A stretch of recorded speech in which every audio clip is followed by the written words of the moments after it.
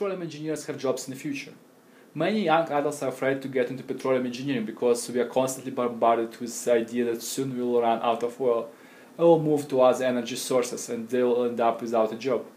Those messages are only par partly true and they are not showing the whole picture.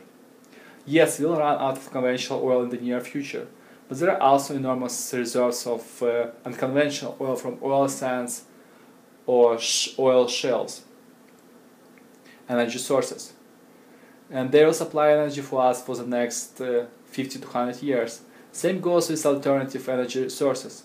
Yes, we're going to use more solar power and wind power, but I really doubt that we will be able to completely get all our energy from renewable sources at least in the next 100 years.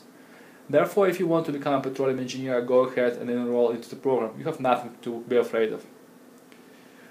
Actually, if you think about it, then you will realize it's good to think that you will run out of conventional oil, at least for the petroleum engineers. First of all, cost of oil will increase because of the lower supply and higher demand. And that means that the salaries for engineers will also significantly increase in the future. Another reason is that com companies will have to hire more petroleum engineers because mining of oil from conventional resources, reserves will require more skills and knowledge. And besides that, all baby boomers are retiring, and there will be a, a gap where empl employers will, will not be able to get enough workforce in technical fields such as engineering and geoscience.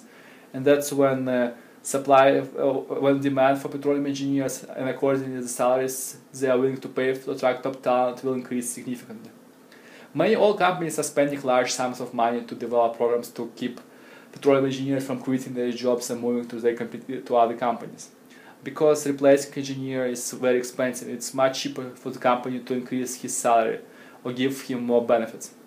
On the other hand, the companies which are not providing enough opportunities for young engineers to develop will see their good workers leave to their competitors and sometimes it might cause company to go bankrupt, bankrupt especially if this is a small company working in a highly specialized field.